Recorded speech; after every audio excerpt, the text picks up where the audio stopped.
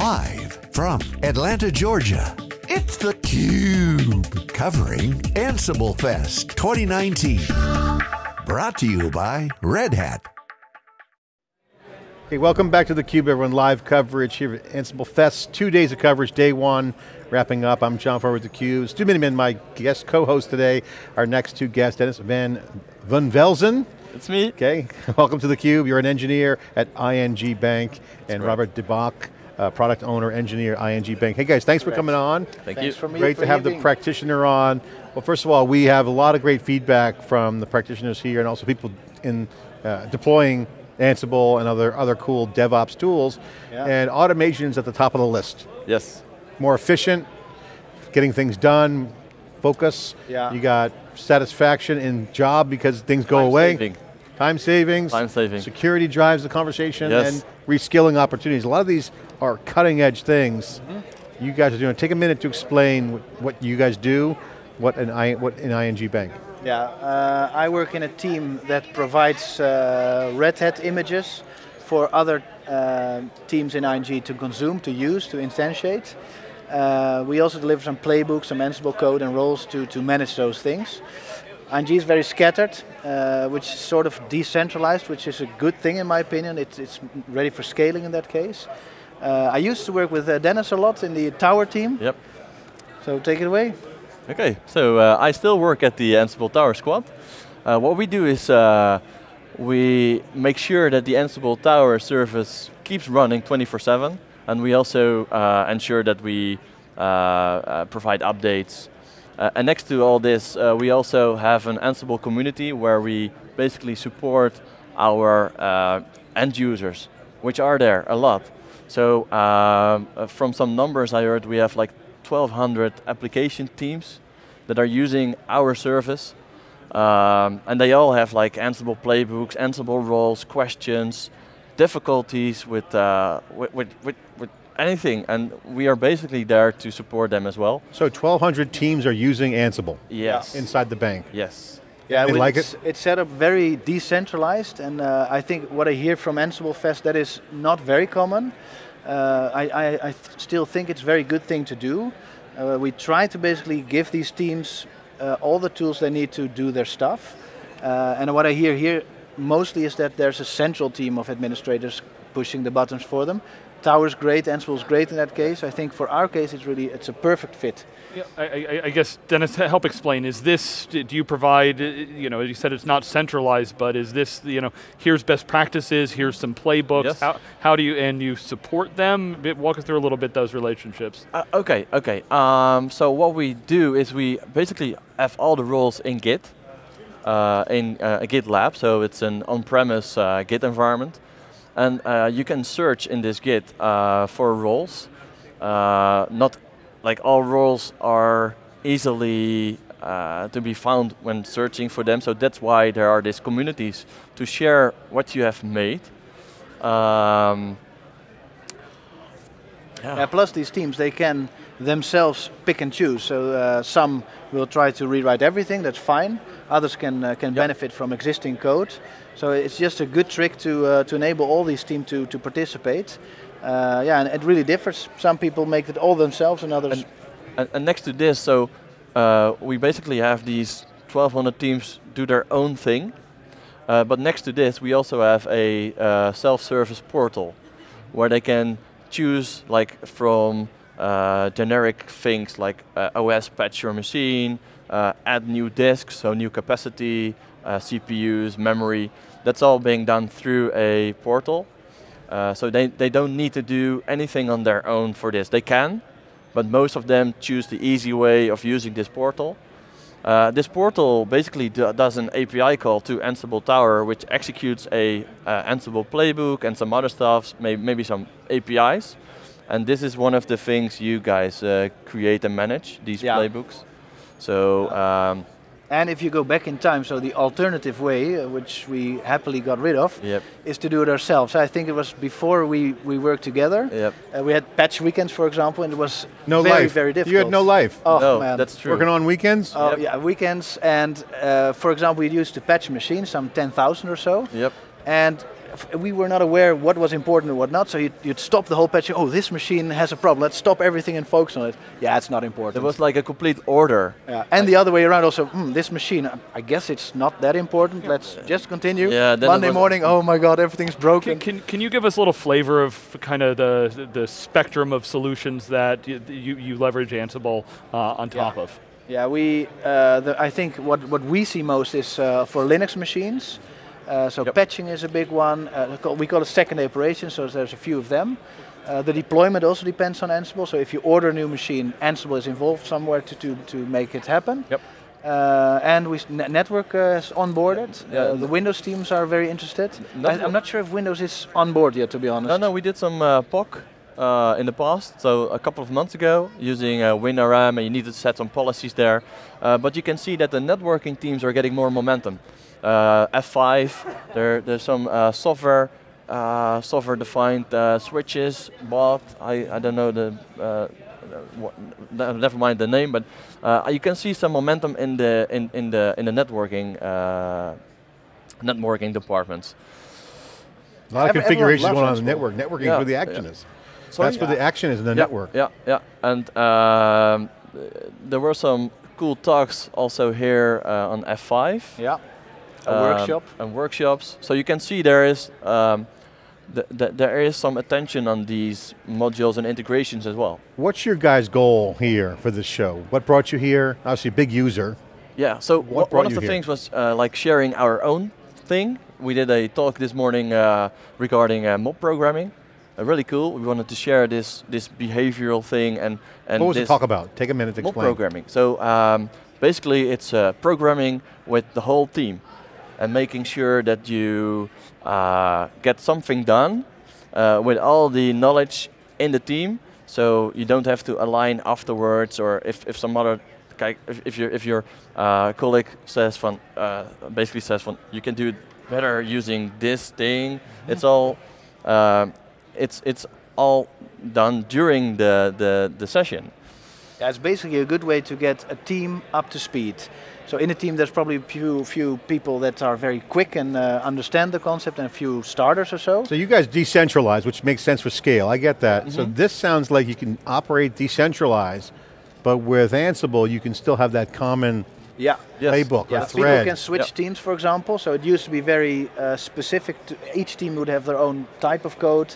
Now that more Ansible is used, people can switch a little easier to to another product or service because the, the, the language is at least shared. Still, it's still it's So quite. people are happy with this, right? Yeah, I, I am. I, I You're happy. I'm really really You're happy. not working on the weekend. That's good. the good the good thing is that you have one generic way of working. So Yeah. this playbook is readable by all engineers, and if you want to learn this thing, you just do the Ansible course. So you know uh, what what this thing is, a task and role, and it's all like it's all But, but a we do see uh, we do see horrible code here. yeah, we do still still. Oh, come on. Don't throw your colleagues under the bus. no, but here's, I'm going to ask you a tough question because here's what we've been hearing. I want you guys to test this. We hear that there's a lot of time savings involved Yes, with Ansible. True or false? that's true. Yeah, Give us an absolutely. order of magnitude. What's the, what, kind of, what kind of savings we, we talking about? Ah, I think it depends on the, the thing, because we, we saw a huge, uh, I don't know exact numbers, but uh, this this OS patching yeah. that really really. Uh, if I would guess now, OS patching was uh, two people work on it f- full time. So Yes. basically collecting who needs to do what uh, when, and then for a weekend, 10, 15 people or so. So uh, that's reduced now to sort of nothing. Yes. Uh, some maintenance to that playbook and role, but I mean, yeah, it's difficult to express, but massive. So no one's getting phone call, hey, come in on the weekend. No. So 15 people on the weekend jam, No, and then two full-time people just managing it, all go away. Yeah. not needed, but not needed. But they basically they can do something else. Yeah. So these people are still there, but now they're not doing OS patching and doing all the Excel sheets and keeping order of, of these systems are important and this should be do first and then they because w- we are basically doing the thing they know better. This application team knows their dependencies, so they know they that first they need to patch the database machine and then they're doing the front end or and and Yeah. it's difficult to do this. So uh, they s- they do it themselves. That's DevOps. That's supposed. To, that's the way it's supposed to be, right? Yeah. that- but that- So you, you've matured this these deployments over time. As you look back, what what key learnings do you have that maybe you'd recommend to your peers to, you It- know, it- how it- things could yeah. run a little bit smoother next Give time? it a good amount of time. So uh, there's tools, that's not the problem. So Ansible's great, but there's others too that are great. Uh, give it time to, to sink in with the people. So you start something you, and you have to have a pretty strong team to, to do the long, the Yep. long stretch with it and give it some time, maybe a year or so before everyone's onboarded. Uh, in our case, in the beginning, we spent lots of time on this community model where we basically organized small meetups or get-togethers to show things or to hear problems and, uh, and, and try to express them. that, that really helped. That helped a lot. And by now it's starting to get normal, more normal. So all the teams do Ansible basically, and problems are slowly disappearing also. So yeah, So one of the things um, that uh, will be better, probably in our scenario, was keeping metrics. So what are the improvements over time? Uh, I don't know how to uh, measure this, not on all as- aspects, but it will be better if you had like better numbers, like we did here, very good, or this is something uh, like what did the community thing bring? We Yeah, know we focus- indirectly what the results are because the engineers are doing things, real real things. They're really patching their application and they're really um, restarting their own machines, for example, when there's something wrong, whatever. Um, but are these related to our community thing, or are these really related to Ansible Tower? Plus, I think we we are very technical focused, so so uh, we like it as a nerd, so to say, to do things. Yep. But what the business value is, for example, we're yeah not so interested or less interested. So we, we typically like the technology. So it could be good to have some someone on board in your team Yeah. that says, yeah, but this is the problem. This it costs this amount of money, and that's solved now or improved. Yeah. Well, you assume the applications are doing the good job, so Yeah. you guys help those guys out. They get to do their own thing. Mhm. They do the heavy lifting. They're doing the coding anyway. For those guys that were coming in managing full time and the 15 or so on the weekend, what are they doing now? Uh, most are spread across all the application teams. So they go back So, into but their. but uh, the the the other side there is now a tower team that was not there, uh, so that's a price you have to pay, and it's a serious team. I mean, it's five, six people now, six I guess, people. Yeah, six people. and a hundred machines or so. So it is a serious amount of Yeah. Time, but it makes it at least much more constant. So people are not surprised by machines being patched, and oh my, they, on Monday they come back and it's half broken or so. So th- th- it's a lot more control now. So I don't know if you can express it in price, but at least it's more stable. yeah, yeah, more consistent. Great. Well, one of the things that we hear here, and I want to get your thoughts as we wrap up, is as you go forward, you got Ansible, 1,200 teams using it. You got a lot of collaboration. The work culture's changed. Sounds like you Yep. got a tower team set up to service everything else. So there's some scale building out. What's next? Because as it becomes a platform, Okay. you have to enable something. There has to be value there. Okay, Technical nerd value and then business value. scaling uh, because we continuously see this thing growing like more application teams are adapting ansible and ansible tower so um, right now we have uh, like a cluster. We have different clusters running. Uh, not, not go into much detail but we can see that the, the, the load is getting higher and higher. Um, so we need to scale. Um, and this is sort of difficult, but Red Hat is really supporting in this uh, because they're going to change some things at the at the application level to uh, to to to allow scaling even better. Um, Plus also for most teams, uh, they're starting their uh, configuration or everything as code uh, process. Uh, they're not there yet. As soon as they discover the power of it, I'm sure that it's being Yep. used a lot, a lot more. And plus there's other countries that uh, are going to be connected, so Yeah, it's, that's uh, you'll have a lot of work. you, yeah, guys, yeah, yeah, yeah. you guys are engineering, doing some getting down and dirty with the code, automating everything. yeah, yeah. So, um, what else do we do? What's the Yeah, coolest thing? realize- What's the coolest thing you've done that you've automated? Um, Pick your favorite so, but that's, child. uh, d- during Ansible Tower and with Ansible. Um, let me think about this. I, I really like the, the patching. That saved us so much work. And uh, I, I think also one of the next goals to make much more simpler. So we, as a company, we are complex, and the people also like complexity. Uh, and that's wrong. We should change that. well, I think the power of Ansible is the simplicity, so we should really use that. You don't much, want any open more. holes in the network, obviously, and the systems. Yeah, and about your previous question, uh, like I have sort of a finger in all these small things, so it's sort of what I did. It's more like in a team thing. Like we created the OS patch playbooks, the configure stuff, the second day ops. So we did this as a team. It's kind of like That's- sports. Put the playbooks together, run the offense, yeah. play In- some in- defense on security. In mob programming, so you're doing this as a team, which is very cool. How's the scoreboard look? Good? You guys winning? Yeah, yeah, yeah, yeah, yeah. We're looking at the graphite uh, thing, but uh, it's cool. Final question, how you enjoying the show here? Having a good time? What's the vibe here? What's it like here? Share for the people who aren't here.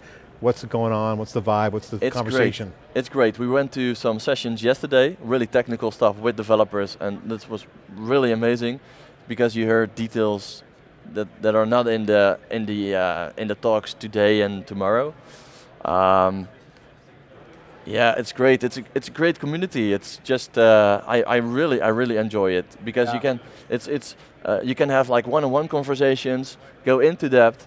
Um, I was showing something I created, and these guys were, "Wow, this is really great!" And uh, uh, it, it's cool. It's just if you yeah if you it's really great. It's really cool. Right. Really. Yeah, for me also, it, it feels like coming home. So I know these people, and uh, I think the first day, of the con- the collaboration day, what's it called? I'm not sure. Community day. Community day. Yeah. That it's great because it's a bit bit rough and uh, unpolished, and today is more polished and more Yeah. presented and prepared. Uh, both are great. Yep. Uh, it's Rough is good. You get nice to to good, give the hard feedback. Yeah, right? yeah. Plus, you meet all the people. So, for example, I use Ansible a lot, and then on GitHub I see all these names. Like, who would that be? And they're walking here. Yeah, so yeah. you shake them hands. And like, oh, oh, that's You quite check out the impressive. guys. Yeah, I like your code. Looking good. Yeah, yeah. Code Yeah. looks good. True. Yeah. but Contributor Summit is what yesterday Contributor was. Yeah, Summit. Okay, yeah. sorry. Good. Thanks for the Absolute corrections advice too. for anyone that goes to Ansible: visit that day too. Yeah. It's just great. It's great to see people face to face Yeah. That you know online Yeah. through their digital identity or their code. And you can and you can complain about stuff like without and, and and you know that you don't hurt them or something with just commenting on Yeah. Git like I have this issue and this issue and this issue then you can see them in person and then you Give them a high five. Hey, sorry I mean to insult yeah, you. yeah. You know, or hey, this good is job. me and this is thank you and uh, it's it's really cool really cool really cool Guys, great uh, conversation. Thanks for coming on theCUBE. Thanks. Dennis, appreciate it. Robert, thanks for coming on. It's you very theCUBE much. coverage here. Day one of two days of live coverage here inside the Cube here in Atlanta, Georgia for Ansible Fest. This is theCUBE. I'm John Forrest Duman. Thanks for watching.